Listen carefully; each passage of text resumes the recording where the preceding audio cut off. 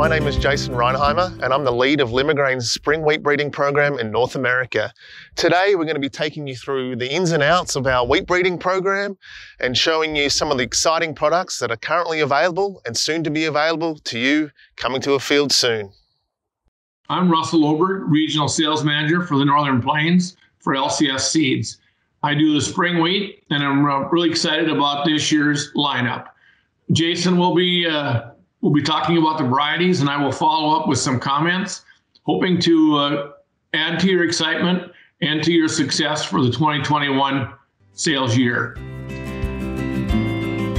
And here we have LCS Trigger. What can we say about LCS Trigger? This thing yields. It's been the highest yielding spring wheat variety in the Northern Plains for some time now. And look at it, it just looks like it wants to yield. Those blocky heads, I love those. That short, stiff straw. You know, this thing will get up and boogie in most situations. So if you want to look for something that's going to really push the bushels per acre on your farm, this is certainly one to consider it's been a, a consistently high performer for a number of years now. Yeah, I definitely recommend checking out LCS Trigger. LCS Trigger is again uh, an industry leader for yield, uh, not having a high protein, but oftentimes it will actually outrun the yield will outrun the the protein discounts, um, and uh, it's continues to be. It's a little bit fuller season.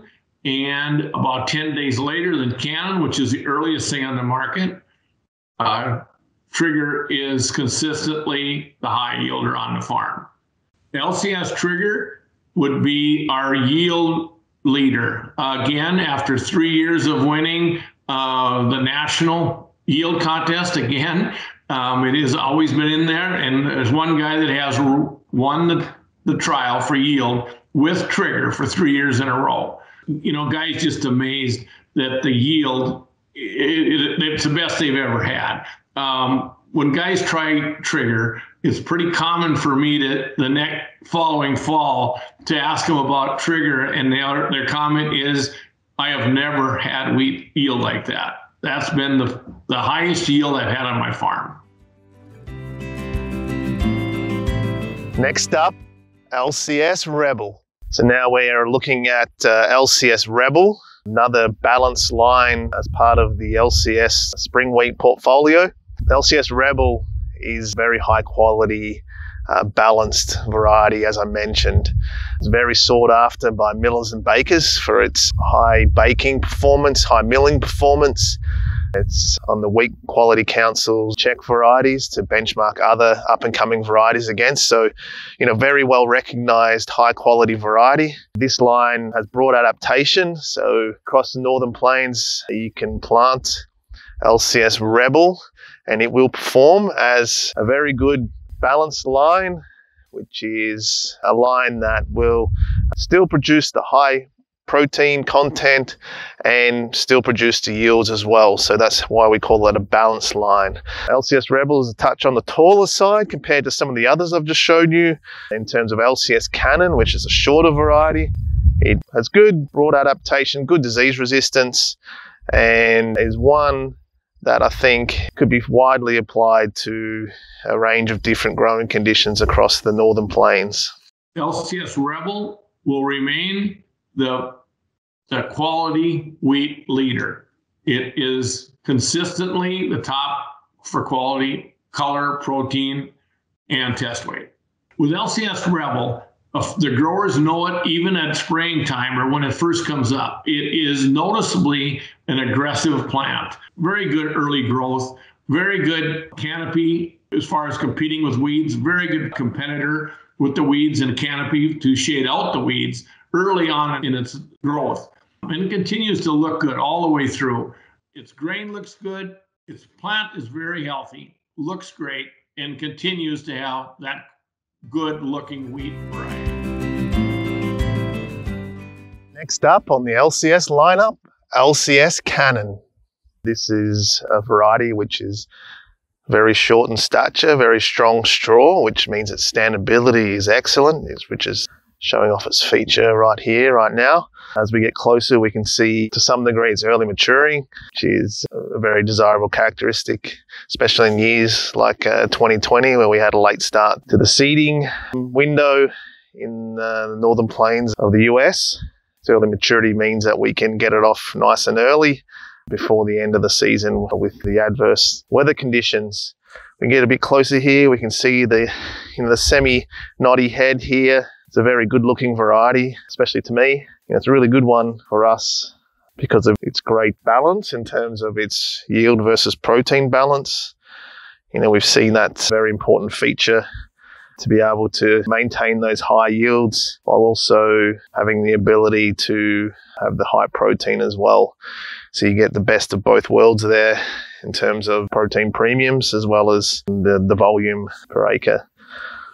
So this is LCS Cannon, a very good variety and one that's certainly one to watch out for and give it a try on your farm. LCS Cannon is uh, really, we're, we're, very excited about it in the 2021 season. It has been good now for three years, and a lot of growers have been uh, talking about it. It uh, very early, has very good straw strength with a consistent protein of 14 and above. So we're uh, we have a lot of dealers that have a good supply, and we're excited about it. LCS Cannon is uh, has really had some testimonials as far as man, that was early to harvest. Um, we had one grower, and as a dealer of ours, and he was trying to combine his seed barley. And uh, after two or three days where it wasn't dry enough and wasn't drying, he told his uh, hired man to go and take and take a, a sample of the wheat. Uh, his cannon wheat was dry, combined it all, had to field work before he could do his barley. It's an early variety.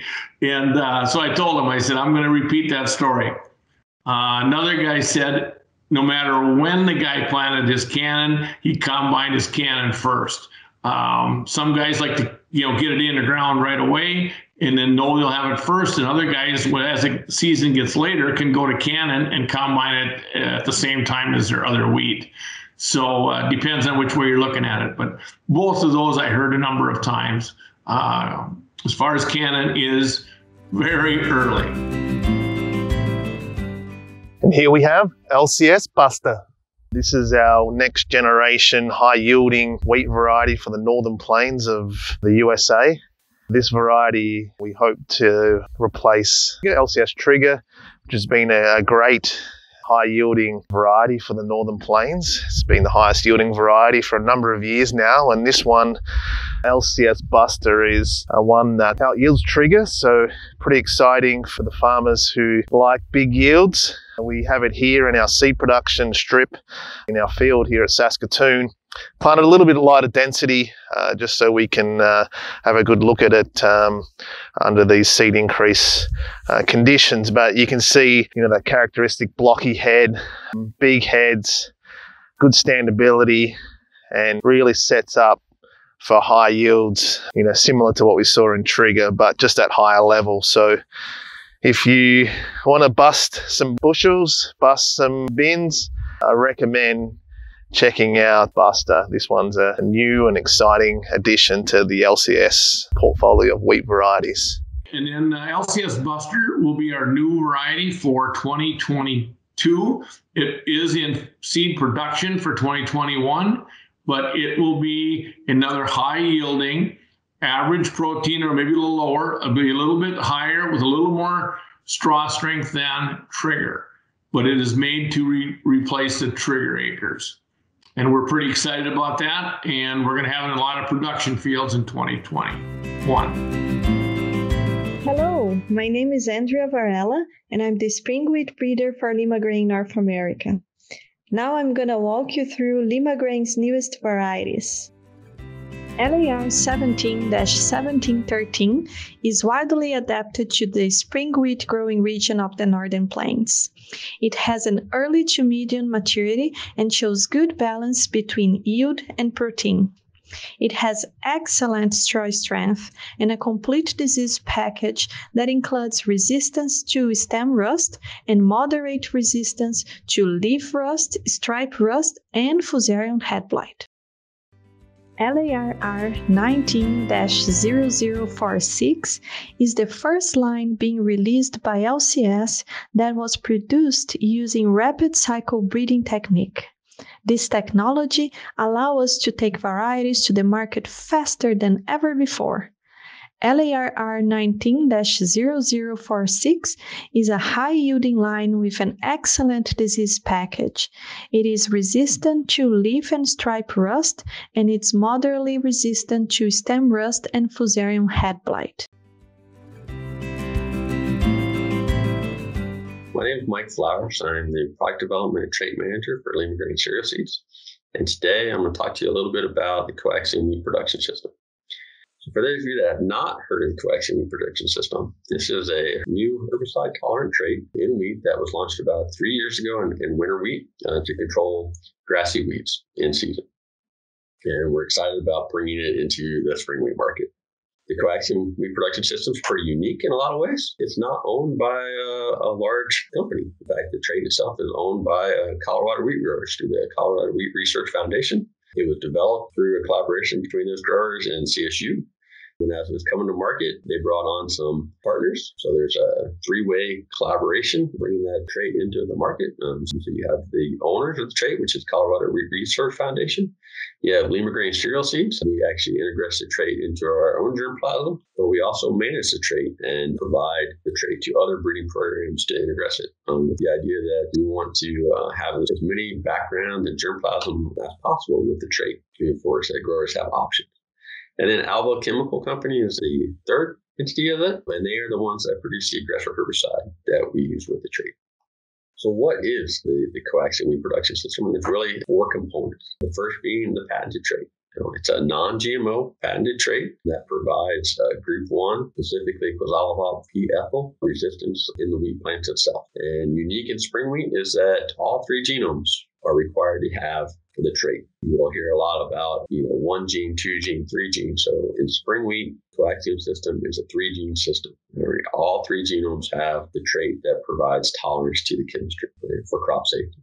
The second component is the uh, elite germplasm. Again, Limagrains cereal seeds will be bringing coaxium wheat varieties to market, but you will also see other entities bringing both public and private that will be bringing coaxium wheat production wheat to the market one key way to, to tell whether you're working with a coaxium wheat is, is real simple. Uh, all coaxium wheats required to have the AX at the end of their name. So it could be a number name or it could be a, a name itself, but it will always say AX at the end.